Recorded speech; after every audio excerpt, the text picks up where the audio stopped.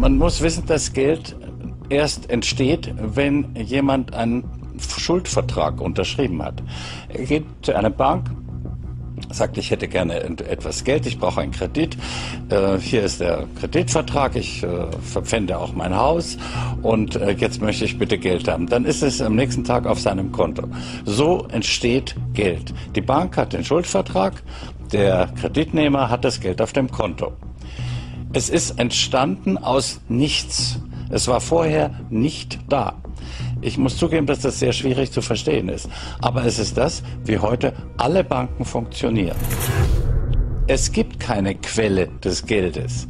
Das Geld war vorher nicht da. Es ist nicht zur Bank gekommen und die Bank hat es dann dem Kreditnehmer gegeben, sondern die Bank schafft dieses Geld wie ein Schöpfungsakt. Sie macht dieses Geld und hat dafür dann den Kreditvertrag in der Tasche. Es gab das Geld vorher nicht, es gibt keine Quelle. Der Kreditnehmer verspricht, den Kredit zurückzubezahlen und die Bank verspricht, sie tut es dann auch, ihm das Geld auf sein Konto gut zu schreiben.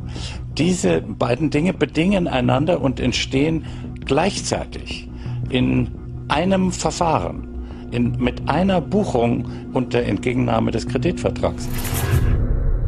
Sofern Leute überhaupt so weit eine Vorstellung haben, denken nun die meisten Leute, das Geld kommt von der Zentralbank. Die Zentralbank schafft das Geld, sie hat die Freiheit, das zu tun, äh, kann es frei in die Bücher eintragen und per Kredit gibt die Zentralbank das von ihr geschöpfte Geld an die Banken. Und die Banken geben das an ihre Kunden weiter. Dem ist aber nicht so. Das ist in Wahrheit sehr viel komplizierter und teilweise ganz anders. Ähm, so wie eben beschrieben, gilt das residual nur noch für das Bargeld, also für die Banknoten und darin eingeschlossen auch die Münzen. Geld entsteht bei privaten Geschäftsbanken als Schuld in der Kreditvergabe. Es ist ein verzinster Schuldschein, was Sie in der Tasche tragen. Es ist kein positiver Wert. Was heißt das? Das Geld entsteht bei der Kreditvergabe und war vorher noch gar nicht da. Wir werden dann sehen, das passiert einfach mit einem Buchungssatz. Kreditgeld, Schuldgeld ist also kein positiver Wert, sondern es ist ein verzinster Schuldschein, der in die Welt kommt, wenn Sie bei einer Bank einen Kredit gewährt erhalten. Ja, das ist dann Geld, das neu entsteht durch die Kreditvergabe und vorher nicht existiert hat. Das ist nicht das Geld der Sparer. Das Geld der Sparer wird investiert, das wird angelegt auf den Finanzmärkten. Es wird aber nicht als Kredit weitergegeben. Das ist ein Kindermärchen, das stimmt so nicht. Diese Buchungssätze werden weltweit so verwendet, in den Vereinigten Staaten, in Japan, in Europa. Ist überall das Gleiche. Es ist ein absurder Buchungssatz. Und was ist das Problem dabei? Es wird auf die Art und Weise immer nur das Kreditkapital erzeugt und nie das Geld, das man eigentlich benötigen würde, um die Bankzinsen zu bezahlen. Anders gesagt, die Bankzinsen existieren nicht in der Geldmenge. Zinsen können also mit Geld nicht bezahlt werden. Womit dann? Ja, zum Beispiel mit ihrer Kreditsicherheit. Nicht mit Geld, denn für die Zinsen wird es leider nicht erzeugt. Und das ist auch der Grund, warum die Realwirtschaft permanent im Wettbewerb stehen muss. Die Konkurrenz, der sogenannte gesunde Wettbewerb, entsteht einfach nur deshalb, weil die Unternehmen der Realwirtschaft permanent um Geld kämpfen müssen, das sie anderen abnehmen, um damit die Zinsen ihrer eigenen Banken bezahlen zu können. Jeder stiehlt sich gegenseitig Geld aus dem Kreditkapital, um Zinsen zu bezahlen, weil die Banken dieses Geld für die Zinsen nicht erzeugt haben.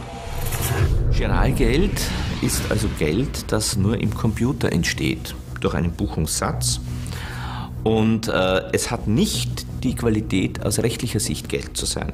Rechtlich ist Geld nur Münze und Banknoten. Und das beschert natürlich den, Problem, äh, den Banken heute die Probleme mit dem möglichen Bankrun. Denn wenn alle Sparer auf der Bank ihr Geld beheben wollen, in Form von Münzen und Banknoten, dann funktioniert das nicht. Unser heutiges Geld ist ja nur noch Informatik, das sind noch Bits und Bytes ohne Eigenwert, wird aber insbesondere durch die Kreditsicherheit, also Eigentum des Kreditnehmers, so behandelt, als hätte das Geld wirklich einen Wert. Ja? Wenn also die Kreditrückzahlung plus Zinsen nicht gelingt, was systemisch in unserem System sowieso nicht geht, verliert der Kreditnehmer sein Eigentum und nie die Bank.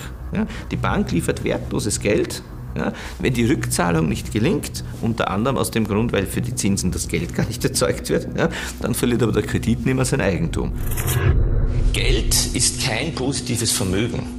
Geld entsteht heute in einem Buchungssatz jeder privaten Geschäftsbank durch eine sogenannte Bilanzverlängerung.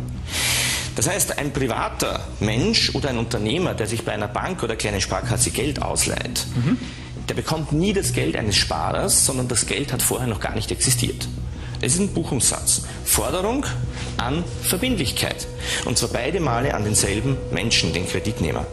Und das ist, und ich bin ja Rechnungswesenprofessor, ja. ziemlich pervers. Das muss man so sagen. Ne?